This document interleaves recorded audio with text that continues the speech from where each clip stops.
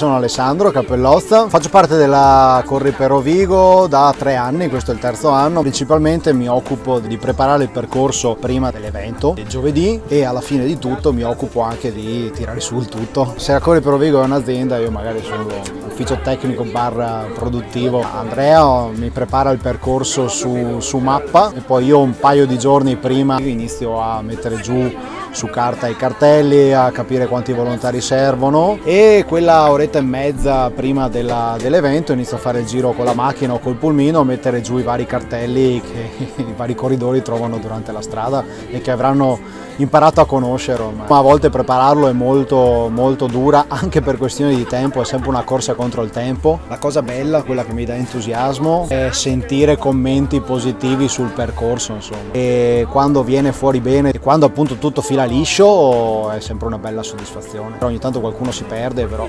no...